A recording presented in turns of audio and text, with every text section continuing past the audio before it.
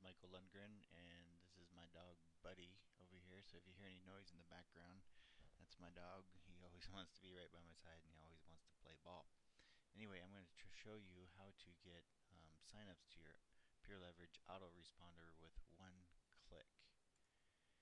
So what I've installed is this subscribe button right here. Um, and I'll show you how to get this subscribe button by going over here to your Pure Leverage back office.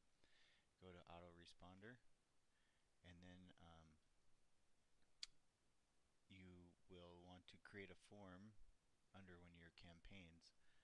Um, campaign is your um, follow-up uh, email series and to create a form you just come right over here and create form or use the form wizard and after you created the form um, you'll see this little button right here it says Facebook button.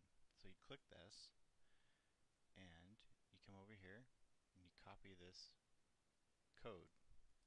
Just like that right click copy.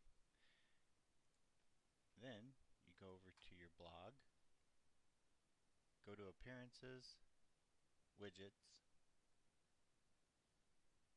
and what I've done is taken one of these boxes and just dragged it right over here. I'm not going to do it again because I already did it open up the box like this and then paste the code in. So you just right click and paste. Uh, I already have it in here and then um, so you just save. Once you save it you can move it around. I like to keep it right up at the top right under the search box. So on your blog you have the subscribe button. When people subscribe um, you will capture their Facebook email and contact information. And that contact information will go right into your email series.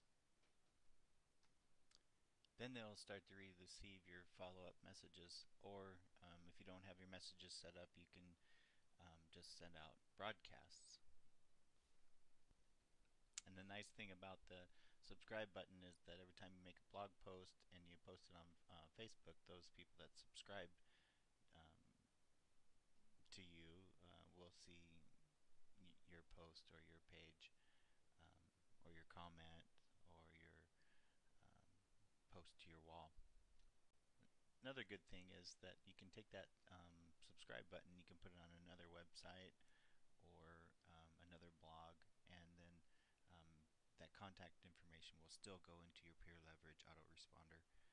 And um, well, that's it for now. Um,